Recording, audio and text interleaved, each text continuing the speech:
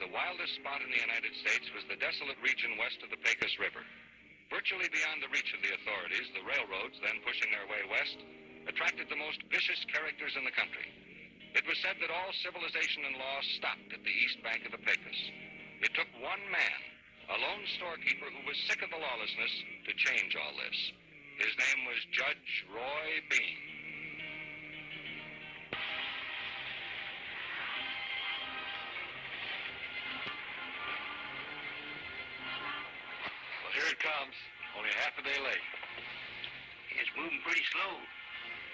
Something wrong.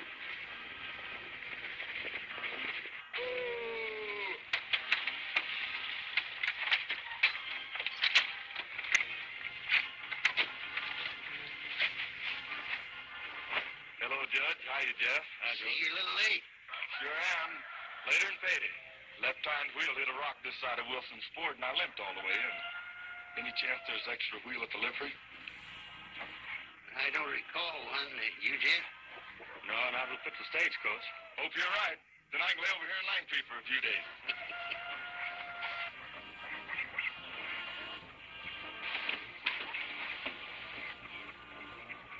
Nice looking man. Too bad he's not as nice as he looks. Do you know him? That's Duke Castle, the gambler. Oh, You know the lady? I sure do. She can cause more trouble than 50 gunfighters. Who is she, Elroy? Her name happens to be Dolly Mason. I heard her make a speech once in Denver. Yeah, I read about her. She stands up for women's rights. And she stands up and shouts for women's rights and a lot of other things. I know. She's the one that's against smoking, drinking, and gambling. And breathing if you happen to be a man. She's what they call a reformer. I hope Jonas finds that wheel in a hurry.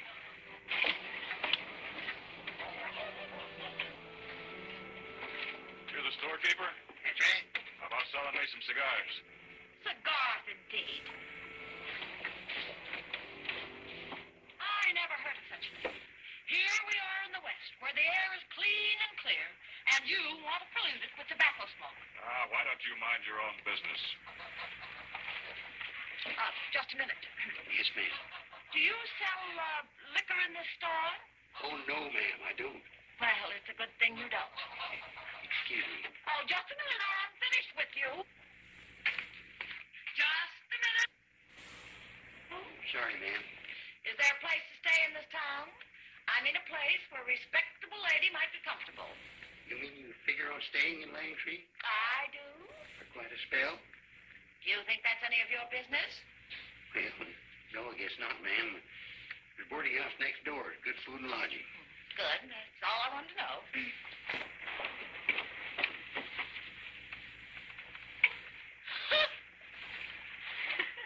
I guess that puts me in my place. Hey, Jeff! No extra wheel. I got to to be rebuilt.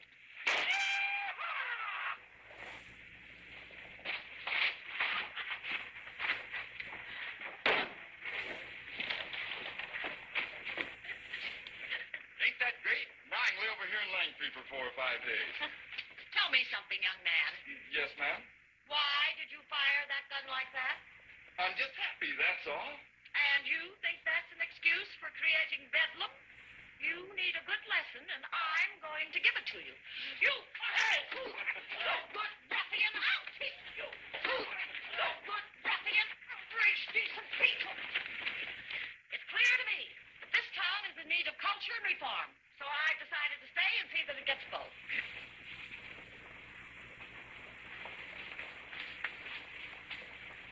Maybe I should have arrested her for disturbing the peace.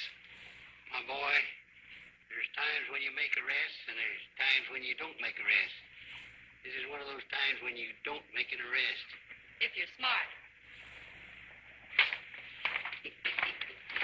You all right? What'd that woman have against me? Oh, she just got it in for any man. Hey, how about my cigars? Here, we get it right. Oh, I'll get them for him, Uncle Roy. Howdy, Judge. What you doing in Langtry Castle? Stage broke down. I'm stuck here. You were going through? I was, but I might change my mind and stay. I wouldn't if I was you. But you're not me, Judge. I know you're a record castle, and don't you set up any gambling operations here in Langtry. Oh, you needn't worry about that. I'm going to be thoroughly entertained watching what Miss Dolly Mason does to your town. This ought to be real interesting.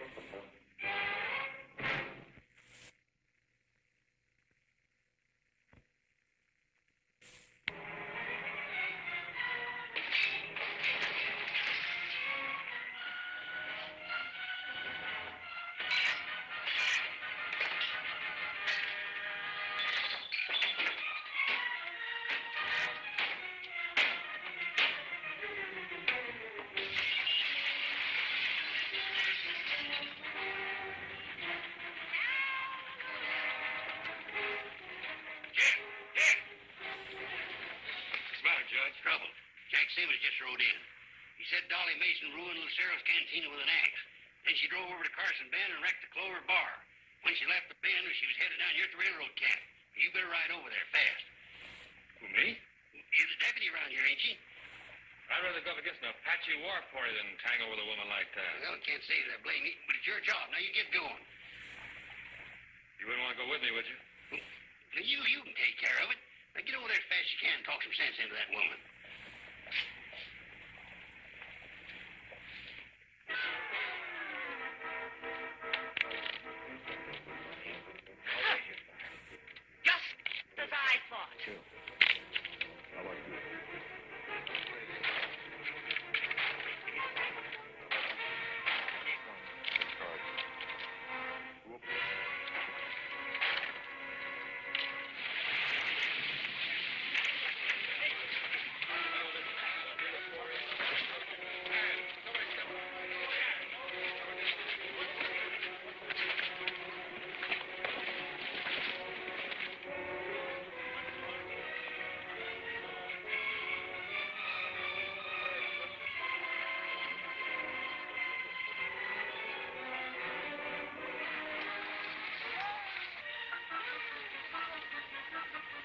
You do that, miss?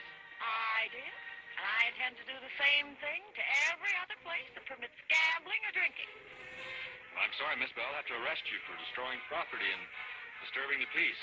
It may even be for your own safety. Hmm, never mind about my safekeeping, young man. Do you have the authority to arrest me? Judge Bean's deputy. Very well, then. Arrest me. And we'll see what your Judge Bean does about it. Well, go on, arrest me. All right. You're under arrest.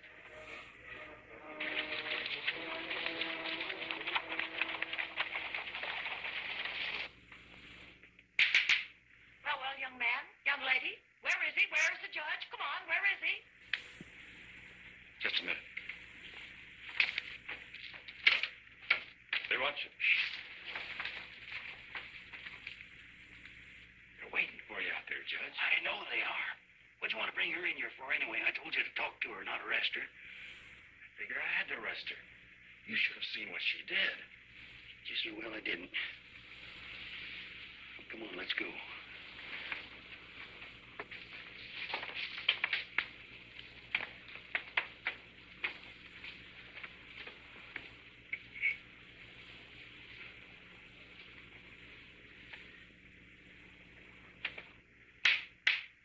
Take your hats off. This here court's now in session.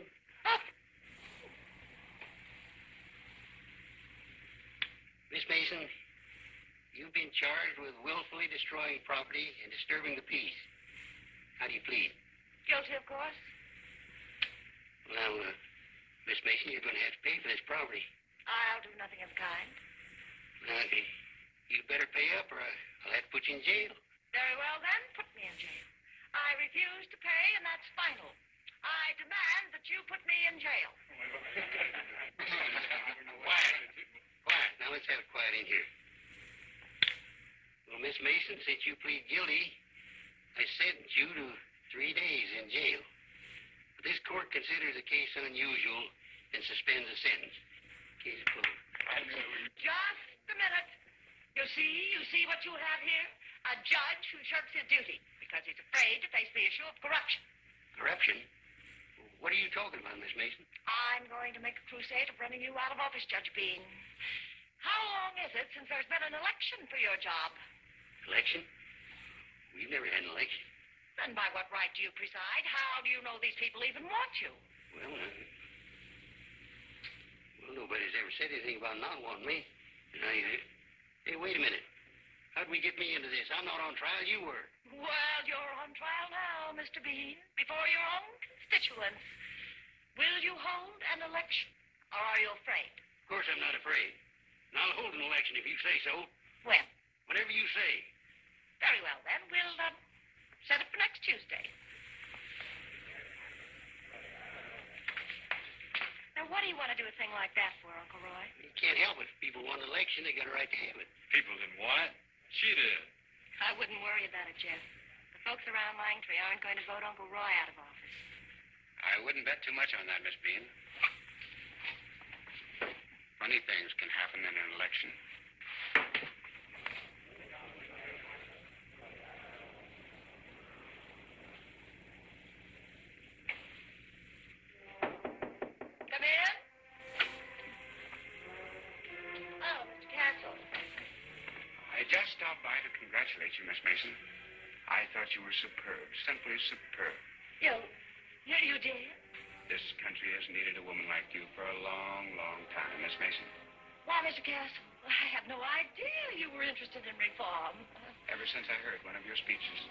Where was that? It was, uh, Uh, must have been Denver. yes, that's where it was, Denver. I've been a changed man ever since. I want you to know I'm behind you all the way, Miss Mason, all the way. Why, Mr. Castle, I, I, I don't know how to thank you. May I point something out to you? Well, of course, anything. You're going to need a candidate to run against the judge. A candidate? Yes. Oh, my goodness, I never thought of that. And you don't have much time to choose one. Oh, no. No, I don't, do I? Well, you see, I'm, I'm not very well acquainted here with anybody excepting yourself, and I, uh, why, Mr. Castle, of course. You're my candidate. Me, Miss Mason? Of course. I was never so sure of anything in my life. You're uh, fine looking. You you have presence. You're intelligent. yes, sir, Mr. Castle. You're our man. Well, it is a challenge. Mm-hmm. I accept the nomination, Miss Mason. And now I know you must be tired. I'll be going to my room. I'm just down the hall. but but I will see you soon, won't I? We must discuss our campaign plans, you know. Tomorrow morning. Oh, that'll be fine. Goodbye, Mr. Castle. Goodbye, Miss Mason. Mm-hmm.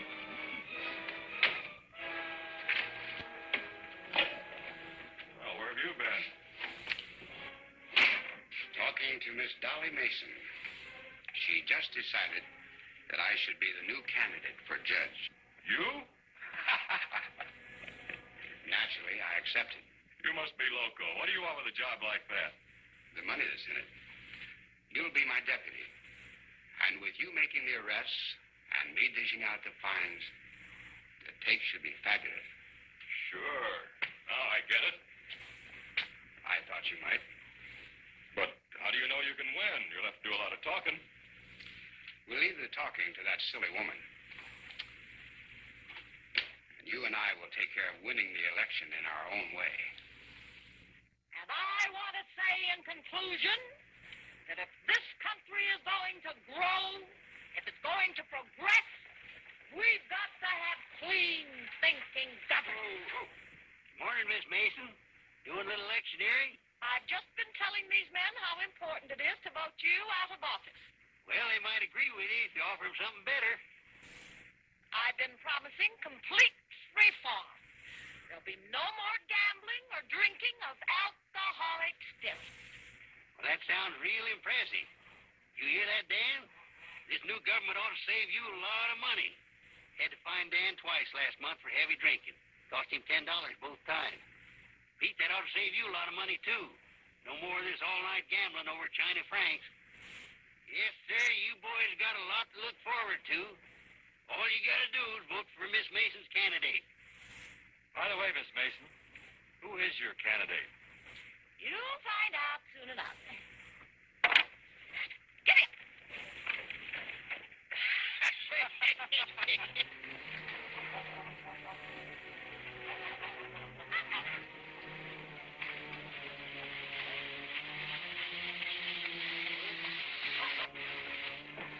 Take a look at that. She's running Castle for judge. I certainly am. Mr. Castle gave his consent yesterday. Miss Mason, you you know Duke Castle's background? I know he was once a gambler, Once. but he's changed his ways. He'll make a fine, upstanding judge. You mean if he's elected? We have every confidence of winning, Bean, but there's something we'd like to have settled now. What's that? Tomorrow the election is to be held, but it hasn't been decided yet when the winner shall take the office. Shall we say six o'clock tomorrow night? It's all right with me. Good. Miss Mason?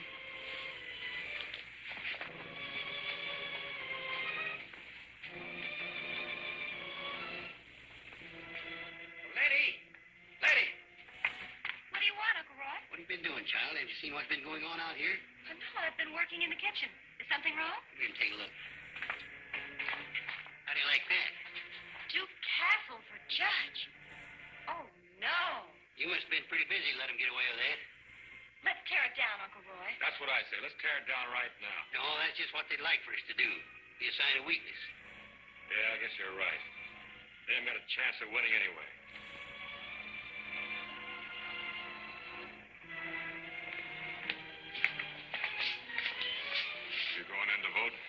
Right. You know who you're voting for, don't you? Sure. Judge Bean. You were voting for him, but you just changed your mind.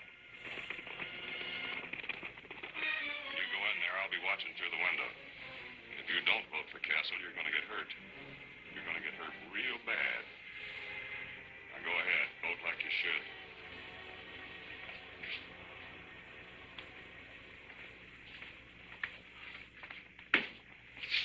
Where's the judge? Had a horse take sick, and Uncle Roy went out to his ranch to help him. Do you want to tell me what I should do? Simple, Jonas. You just pick up the chalk and make a cross under the name you want to vote for.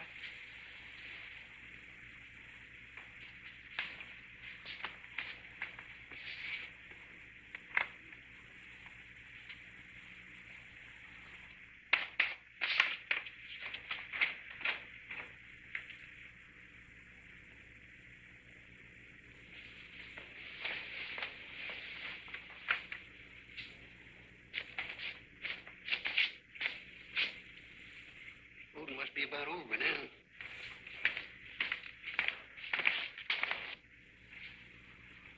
What's the matter, honey? Look.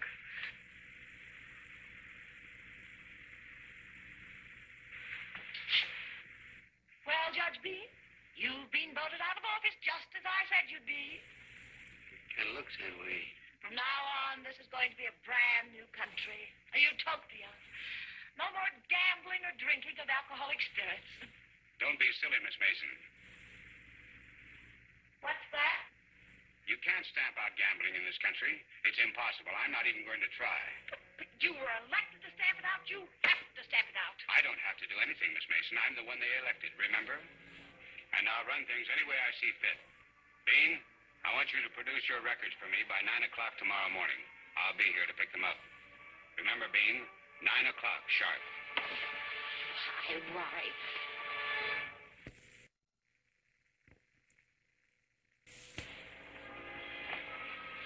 I wanted to let you know about the stage, Miss Mason. The wheel's almost fixed and we'll be pulling out in the morning. That's very interesting, Jonas. Personally, I'm glad you're leaving. Both of you. Lady, I know you're picking on Jonas. He didn't have anything to do with it. He's supposed to be a friend of yours, isn't he? Well, he came in here and voted for Duke Castle. What did you do that for? Well, I, I had to vote that way. Now, a man's got a right to vote any way he likes. That's the that's the basis of our American. What do you mean you had to vote that way? Jonas, come back here just a minute.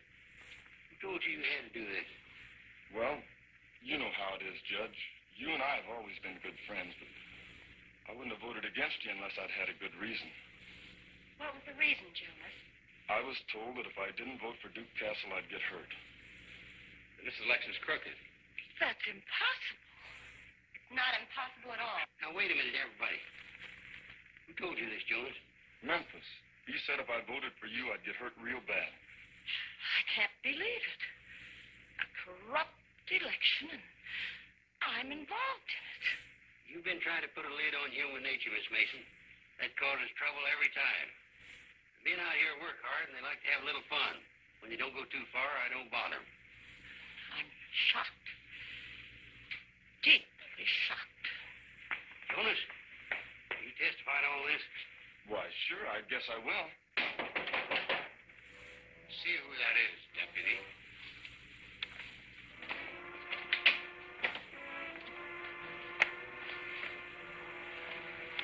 You don't think you're going to get away with this, do you, Mr. Castles?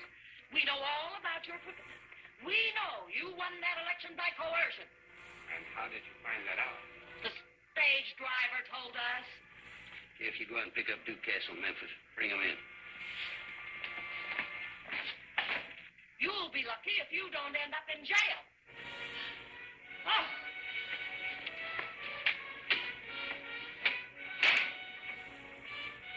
shut that stage driver's mouth. Yes, but there's no reason to kill him. That would be trouble we don't want. That could be more trouble. Come in. You're under arrest, Castle. What for? The judge will tell you all about it. Come on.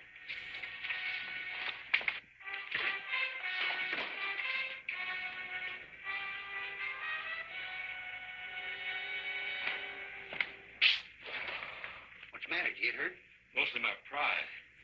I let myself get hit on the back of the head. I didn't make that arrest either. what's the matter, Jeff? I'll be all right. Did you find Jonas, Letty? No, he isn't around anywhere, Uncle Roy. That's bad. If he doesn't show up with this evening, we're late. Why? Castle takes over as judge at 6 o'clock. He'll just dismiss that case on Memphis, and that'll be it. If they took Jonas out of town, this is going to be rough. Yeah, they probably headed for Bascom's Rock or that line shack between here and that railroad camp. Now, let's see if they got horses at the livery stable. You, you heard any horses go by here in the last hour, lady? No, I, I don't recall any. I don't either. They probably sneaked off toward the railroad camp. We'll head for the line shack. Well, let's go then. You go ahead and get mounted. I want to give some instructions to Letty. Oh, quit squirming. You even look like you want to run, and I'll blast you. Well, this worked out just right, Memphis. We'll be heading back to Langtry in a little while. That's all right with me. I'm tired of sitting around here like a. Hey, look!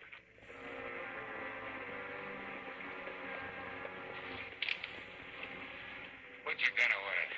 We've got nothing to worry about now. Bean, you're wasting your time, and you know it. I'll be judge in a half hour, then where will you be? Emma, I'm going to hold court right here and try you too, Castle. I figured you might try something like that. This is a serious charge, Bean. We demand trial by jury. And I figured you might try something like that, so I'll plan for it. Jury ought to be here any minute. You're bluffing, Bean. look out there.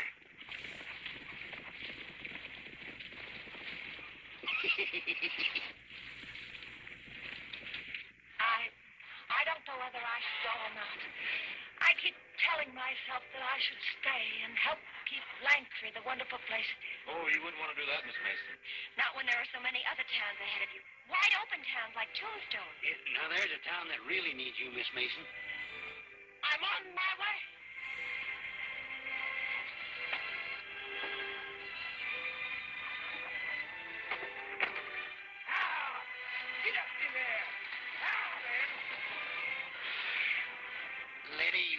Real smart girl.